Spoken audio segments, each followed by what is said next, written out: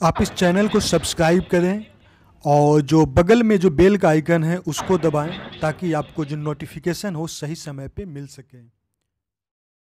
Hello friends welcome at N S knowledge point आज हम लोग कुछ मैथ का जो पिछले बार का जो क्वेश्चन रहा है, यानी साठ बासठ का प्रिलिमिनरी का जो क्वेश्चन रहा मैथ का, उसको हम लोग देखेंगे। मैथ में दस क्वेश्चन पूछे जाते हैं और आपको दस क्वेश्चन का बनाना होता है। निगेटिव मार्किंग नहीं है, इसी कारण सारा क्वेश्चन को अटैम्प्ट करना तो ज़रूरी है।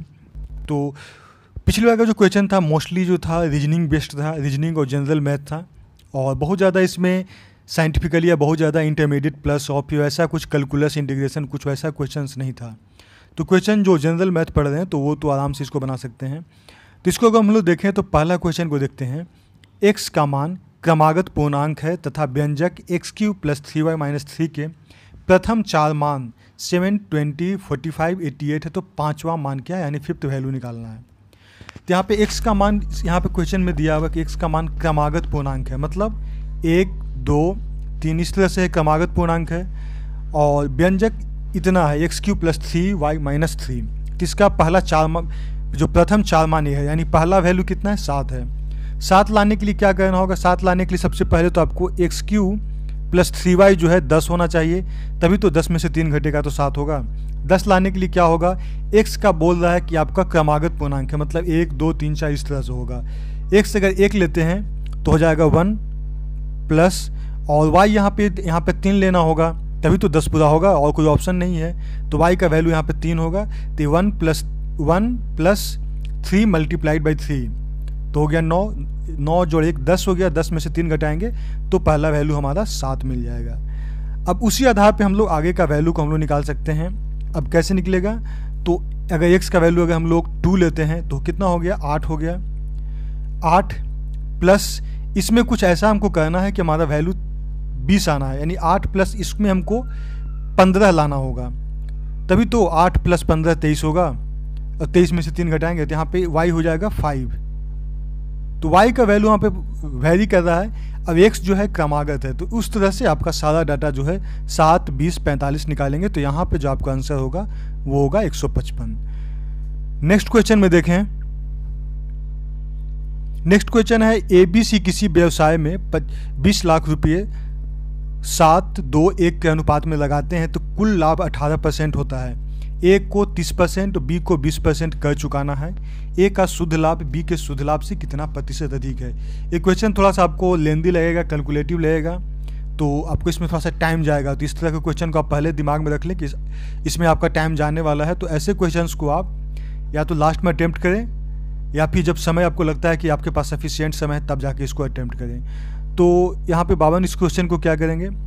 तो सबसे पहली बात है कि यहाँ पे टोटल जो 20 लाख है 20 लाख को ए बी सी के सेवन टू वन के अनुपात में लगाते हैं तो स्वाभाविक है लाभ भी इसी अनुपात में होगा सेवन टू वन में। और कुल लाभ जो है अठारह परसेंट अठारह परसेंट कितना होगा? 20 लाख का अठारह परसेंट वैल्यू निकाल देंगे। और फिर जो वैल्यू आएगा, उसको सेवन टू वन के रेशियो में जो हमारा रेशियो प्रोपोर्शन हो गया तो सेवन टू वन के अनुपात में उसको डिवाइड कर देंगे। उससे हमको ए का लाभ मिल जाएगा बी का लाभ मिल जाएगा।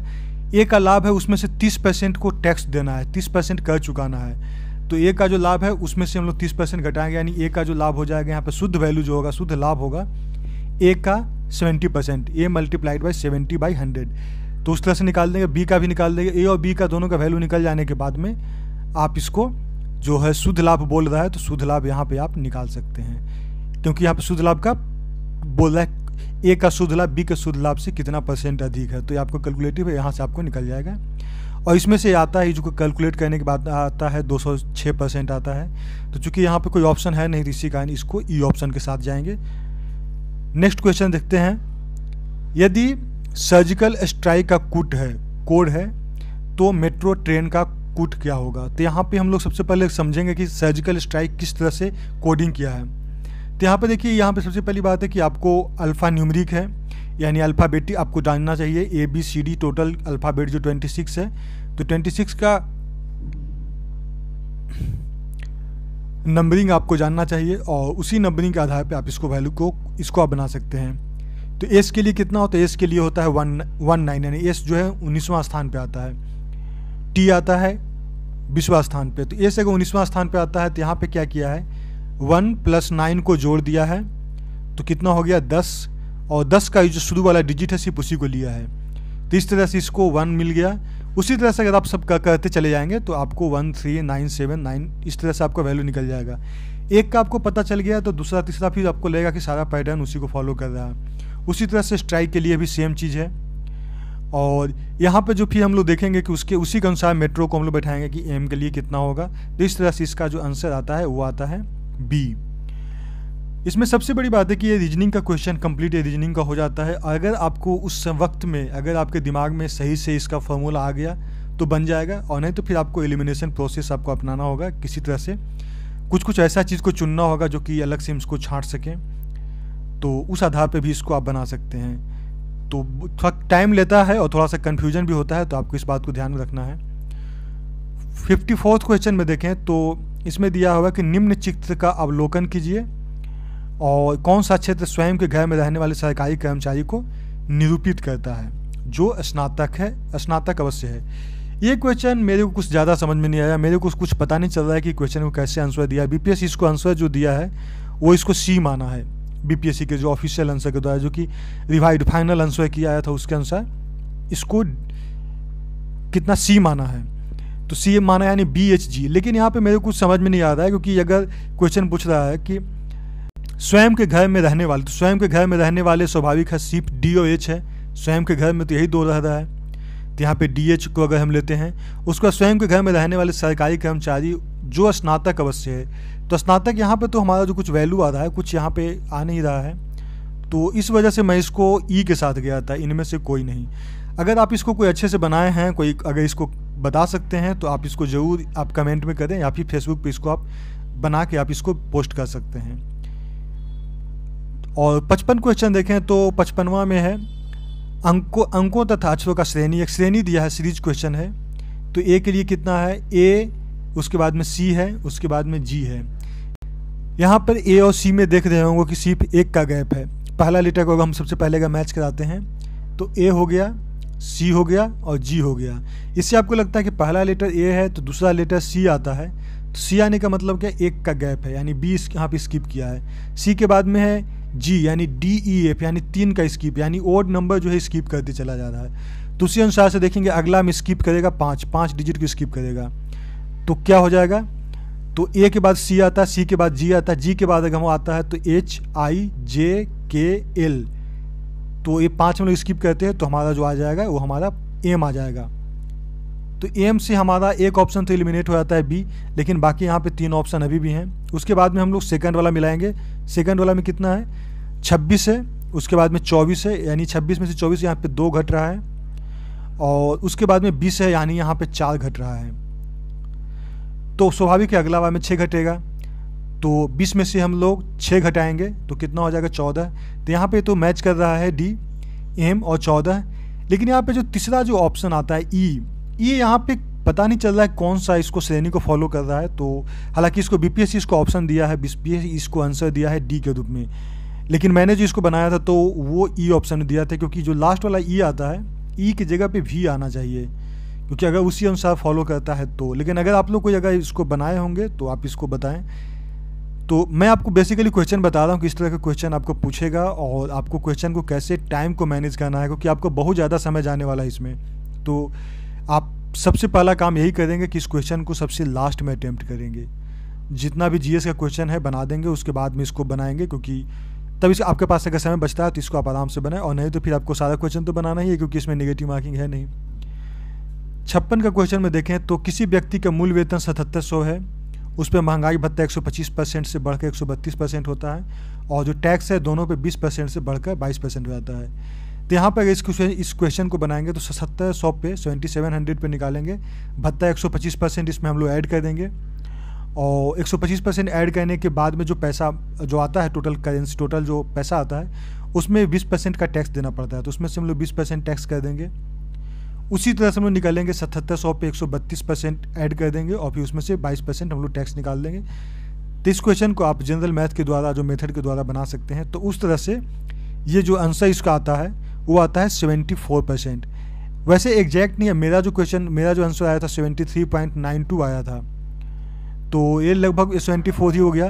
लेकिन यहाँ पे क्वेश्चन है कि यहाँ पे ई e ऑप्शन भी आता है तो ई e ऑप्शन आने की वजह से थोड़ा गड़बड़ होने का भी चांस होता है। तो यहाँ पे आपको थोड़ा सा कन्फ्यूज़न हो सकता है। मैथ का क्वेश्चन बीपीएससी में हमेशा कुछ ना कुछ डिस्प्यूटेड रहता ही है। अगर 57 का देखें तो संख्या 100 से नौ सौ निन्यानवे तक अंक नाइन कितनी बार आता है? तो ये आपको जनरली जो है वन लाइनर टाइप से है, क्योंकि जो एसएससी का क्वेश्चन जो बनाते हैं, उसमें तो ये क्वेश्चन आसानी से मिल जाता है। तो इसको बनाने के लिए क्या करेंगे? पहली बात है कि 100 से नौ सौ निन्यानवे तक का हम लोग कैसे करेंगे? 100 से 200 के बीच में कितना आता है? 20 डिजिट आता है, जो 20 आता है 20 बार आता है नाइन नंबर तो उसी तरह से 100 से 900 के बीच में टोटल हमारा 20 जो है नाइन टाइम्स आएगा।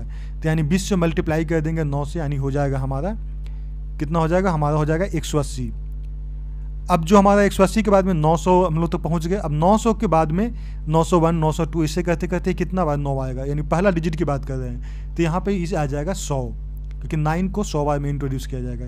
तो तब यहाँ से इसमें हम लोग सौ ऐड करेंगे तो यहाँ पे हमारा आंसर हो जाएगा 280 तो इस तरह से इसको बना सकते हैं। और अट्ठावन क्वेश्चन में देखें तो यदि चिन्ह प्लस को, ये तो सिंपल रीजनिंग है, आप बना सकते हैं। मेरे ख्याल से सारे लोग इसको बनाए होंगे।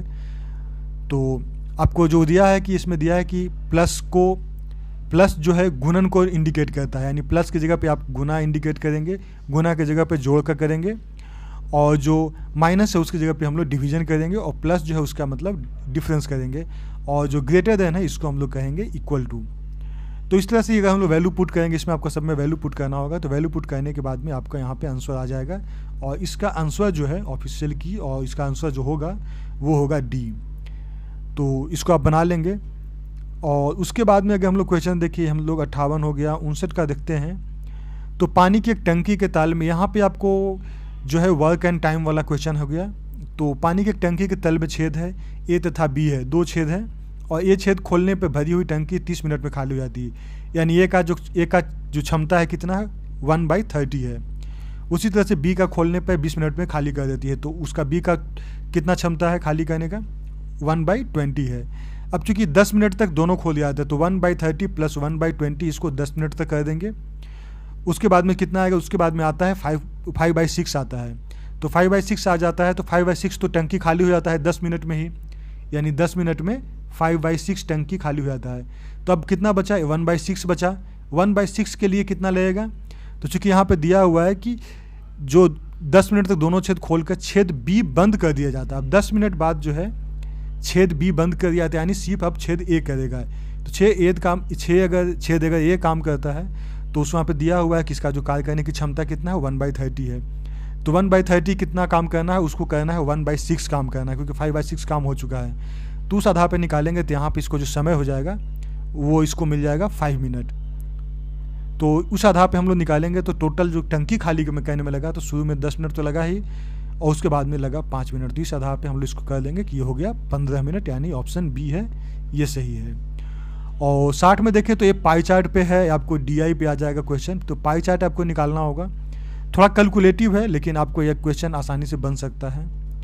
तो यहाँ पे पाई चार्ट निकालने के लिए क्या दिया है कि टोटल जो है कच्चे माल का खर्च, यानी 120 डिग्री वाला का जो वैल्यू है, उसको 30 लाख दिया हुआ है। तो 120 डिग्री का जो 30 लाख दिया है तो उसी आधार पर 90 डिग्री का भी निकल जाएगा 80 डिग्री का भी निकल जाएगा। अन्य खर्च कितना हो जाएगा तो टोटल 360 डिग्री में से इस सारे को जोड़ के इस सारे को जोड़ के फिर उसमें तीन सौ साठ में से घटा देंगे तो हमारा अन्य का डिग्री मिल जाएगा। तो अन्य के लिए जो आता है, वो आता है सेवेंटी डिग्री। तो उसके आधार पर फिर हम लोग निकालेंगे। तो यदि मजदूरी का खर्च पाँच पाँच परसेंट बढ़ता है तो मजदूरी का खर्च यहाँ पे कितना है, नब्बे डिग्री के लिए जो हमारा वैल्यू निकलता है, वो है, उसमें हम लोग पाँच परसेंट बढ़ा देंगे, यानी एक सौ पाँच बटा हंड्रेड कर देंगे, डिवाइडेड बाई हंड्रेड कर देंगे।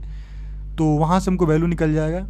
और यहाँ पे लिखा है कि यदि मजदूरी का पाँच परसेंट बढ़ता है तो लाभ को कॉन्स्टेंट रखने के लिए अन्य खर्च में कितनी कटौती करनी तो अन्य जो खर्च है, इसमें कटौती निकालने के लिए आपको यहाँ पे निकलना होगा। यहाँ पे परसेंटेज का, यहाँ पे बेसिकली ये परसेंटेज का ही क्वेश्चन है पाई चार्ट का परसेंटेज का ही है।